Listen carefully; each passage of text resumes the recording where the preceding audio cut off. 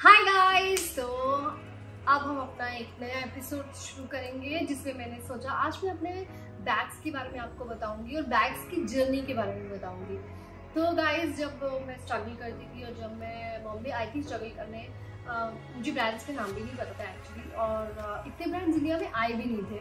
और मैंने कभी लाइफ में नहीं सोचा था कि मेरे पास ब्रांड वाले बैग्स होंगे ब्रांडेड या या मैं कैरी करूँगी।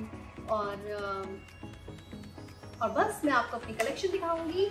तो मेरा ये एक एल का बैग है। अगर आप देख सकते हो। बिग ये मैंने तारा के टाइम पे लिया था जब तारा पैदा हुई पैदा होने वाली थी तो मुझे एक बड़ा बैग चाहिए था।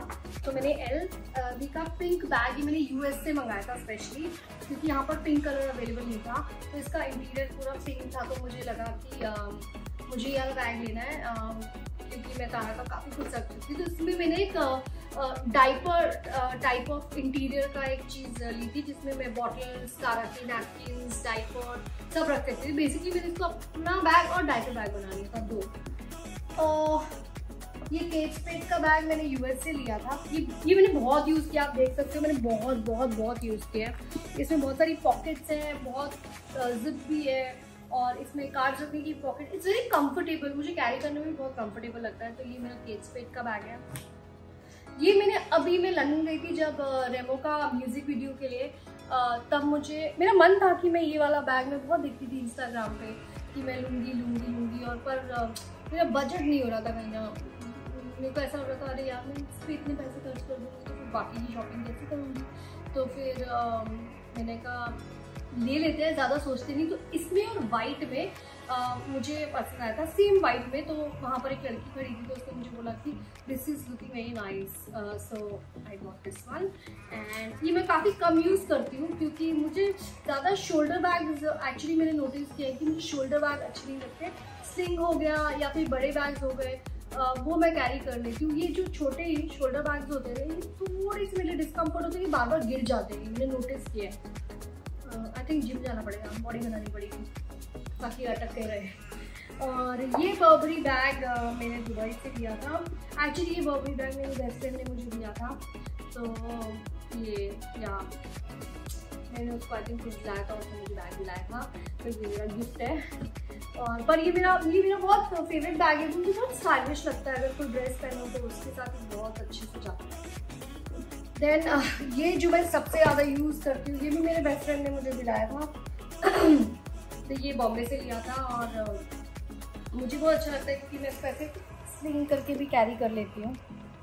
और बहुत ही कंफर्टेबल है। क्यूट भी है। मुझे एक्चुअली मिनी बैग बहुत अच्छे लगने लगे और आप मानोगे नहीं ब्रांड्स में ना जितने मिनी बैग्स लोगे ना, उतने एक्सपेंसिव जितना छोटा बैग उतना दाम बढ़ जाता है।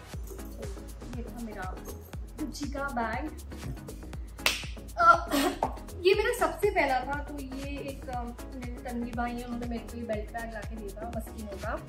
और इसको मैंने बहुत कम यूज़ किया है बट किया है। तो ये मेरा एक्चुअली फ़र्स्ट गिफ्ट था। और उसके बाद मैंने ये प्राडा का मंगाया था। ये मैंने वहाँ से मंगाया था। वो थोड़ा, क्या बोलते हैं, सस्ते मिलते हैं वहाँ से मतलब यूएस और ये जगह पे लंदन पे जैसे उस ईयर के पीछे वाले ईयर के होते हैं या फिर उससे पीछे तो ये मैंने मंगाया था, ये भी मैंने काफ़ी यूज़ किया प्लाना का ये भी मैंने दुबई से लिया था। ये बहुत क्यूट लगता है मुझे, ये मेरे को लगता है क्यूटेस्ट है ये। इतना छोटा साइज़ में कुछ भी नहीं आता। मुझे लगता है तारा और खुशी के बहुत आगे काम आने वाले हैं सब bags I hope they like my collection ये गुच्ची का मैंने, ये भी ये कुछ ही पीसेस आए थे। तो मैं आ, किसी और का गिफ्ट लेने गई थी और वहाँ मैंने ये देखा और मैंने मेरी सिस्टर को बोला कि मेरा मन है लेने का मैं ले लूँ। तो उसने बोला हाँ ले लें। कि ये वाई का बैग मेरे बर्थडे पे मेरी फ्रेंड रहती है अमेरिका में ऐश्वर्या। उसने मुझे गिफ्ट किया था और ये भी मैंने बहुत बहुत बहुत यूज़ किया बैग अच्छा मैं इसके में तो मैं दुकान पे गई और मेरे को बहन को बोला तो मेरी बहन बोली यार बिकॉज़ वो जॉब करती है तो मेरा बजट नहीं तो मैं कभी बता दी थी तो एक दो तीन ले लो तो मैंने ये गाय कर और ये भी मैंने बहुत बहुत, आपने देखा ही होगा, मैंने काफ़ी जगहों पे मेरा ये गाय रहता है ये गाय तारा को उसके अब्बा ने गिफ्ट किया था उसके बर्थडे पे, और ये भी बहुत क्यूट है। तारा क्या यूज़ करेगी ये? तारा की मम्मी यूज़ करेगी ये फ़िलहाल और जब तारा बड़ी हो जाएगी तारा यूज़ करेगी वेरी क्यूट एंड स्मॉल तो तारा के अब्बा ने इसको गिफ्ट किया था। और उसके बाद मेरे पास एक क्लोथ का बैग है। ये भी uh, मेरी अमेरिका वाली फ्रेंड ऑब्वियसली जब भी वो अमेरिका जाती है और वहाँ आते हैं रहने के लिए तो वो हमेशा मुझे कुछ ना कुछ दे देती है जाते हुए। तो मुझे बैग बहुत अच्छा लग रहा था। मेरे दिल में था उन्होंने बोला कि सुनिए बैग क्यों रख ले। तो ओके ओके ओके। और उन्होंने मुझे ये वॉलेट भी दिया था जो मैं तो गाइज़ एक और मेरे पास गुच्ची का बैग है जो गुच्ची के स्टोर पे है वो अभी आने वाला है। तो उस पर थोड़ा प्रॉब्लम था तो मैंने ठीक कराने के लिए दिया है। But guys is my collection और uh, मैं आप लोग को uh, एक स्टोरी शेयर करूँगी कि जब uh, मैं बॉम्बे आई थी तो एक्चुअली uh, कभी ऐसा भी होता था कि रेंट के पैसे भी और पापा को बोलते हुए बहुत शर्म आती थी क्योंकि हम अपनी मर्ज़ी से इधर आए थे। तो मुझे थोड़ा अजीब सा लगता था कि पापा को कैसे बोलूँ नो कि उनको कैसे प्रेशर दूँ उतना। तो मुझे पता था मेरी डैड की भी इतनी इनकम नहीं थी। तो हिम्मत करके हिम्मत करके और पॉजिटिविटी और ना सबसे अच्छी चीज़ जो मुझे मेरे बारे में लगती है कि मैंने कभी किसी को काटा नहीं काम में। अगर किसी को काम मिल रहा है और मुझे पता लग रहा है या मुझे एक जगह पे बुलाया और मेरी फ्रेंड को भी मतलब जाना है तो मैं उधर जाके भी अपनी फ्रेंड के बारे में बहुत अच्छा अच्छा बोलती हूँ। मुझे ऐसा लगता है जब मैं पीछे अपने बारे में सोचती हूँ मुझे लगता है कि नहीं, कहते हैं ना, अच्छे कर्म करो, उसका फल मिलता है। आज मेरे बॉम्बे में दो फ्लैट्स हैं और कार आने वाली है और मैं बहुत बहुत बहुत ज़्यादा खुश नसीब मानती हूँ अपने आप को। और जो लोग दूसरों को गिराने की सोचते हैं या उनके बारे में बैड बिचिंग करते हैं और उनके बारे में गलत बोलते हैं, वो ये नहीं सोचते हैं कि आप अपने अंदर कितनी नेगेटिविटी भर रहे हो। और आप, वो तो अपनी राह पे चल रहा है। और जब आप किसी के बारे में गलत बोलते हो तो आप अपना गलत कर रहे हो, उसका कुछ गलत नहीं कर रहे, वो तो चल रहा है। तो मुझे ऐसा लगता है कि आप बस अपने गोल्स और फोकस रखो चीज़ों पे और अच्छी कर्म करो और अच्छी चीज़ों के बारे में सोचो और अपने माँ बाप की सेवा करने की सोचो। उनको हमेशा सोचो कि उनके लिए अच्छा करना है, उनको अच्छी ज़िंदगी देनी है। और मुझे ऐसा लगता है कि आजकल क्या हो रहा है, बच्चे बहुत शॉर्ट टेम्पर्ड हो रहे हैं, जिससे माँ बाप ने डांट दिया या कुछ बोल दिया तो सुसाइड कर लेते हैं या फिर ऐसा कुछ कर लेते हैं जिससे यू नो माँ बाप लाइक माँ बाप सारी ज़िंदगी उनको फिर याद करते हैं मिस करते हैं। उनकी ड्रीम्स जो होती है, आप शैटर्ड कर देते हो।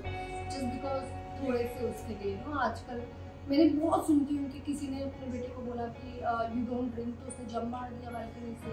किसी ने अपनी बेटी को बोला, ये बॉयफ्रेंड तुम्हारा अच्छा नहीं है, मत जाओ उसके साथ। तो उसने सुसाइड कर लिया कि मेरी माँ मुझे रोकती है। मतलब पेरेंट्स कभी भी आपके दुश्मन नहीं हो सकते। वो कब, आपको जो बोलते हैं क्योंकि उन्होंने वो ज़िंदगी देखी होती है तो प्लीज़ पेरेंट्स की बात सुनो कभी दिल से मत लो और हमेशा सोचो कि हमें इनके लिए कुछ अच्छा करना है। आ, मैं जैसे अभी लेटली वो एक साहिल और वो लड़की का अभी मर्डर का देख थी तो उधर मुझे बहुत बुरा लगा था उसके पेरेंट्स बोले थे हमने उसको रोका था हमने उसको समझाया था।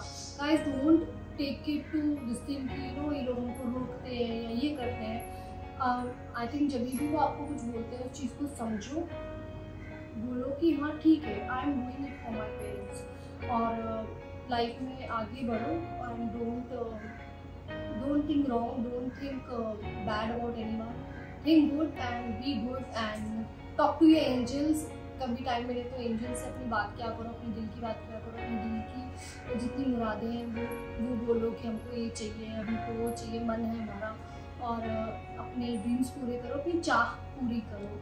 क्योंकि लाइफ एक बार मिलती है तो आज मैं अपनी बैग देखती हूँ, अपने शूज़ देखती हूँ और जब अपने एसेट्स देखती हूँ लाइफ में तो बहुत खुश होती हूँ कि मैंने ज़िंदगी में अपने दम पे ये सब कमाया है और अपने दम पर आज इधर तक आई हूँ। उसमें अलग ही गर्व महसूस होता है मुझे और मैं सब लड़कियों को यही बोलूँगी कि अपने दम पे आगे जाओ, अपने दम पे चीज़ें करो और खूब मेहनत करो और हमेशा सच्चाई की राह अपनाओ और अच्छा सोचो अच्छा करो तो अच्छा ही आता है। Thank you